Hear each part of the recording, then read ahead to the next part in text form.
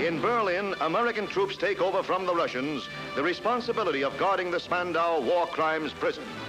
At this last vestige of four-power rule in Germany, the occupying powers rotate each month the tour of duty.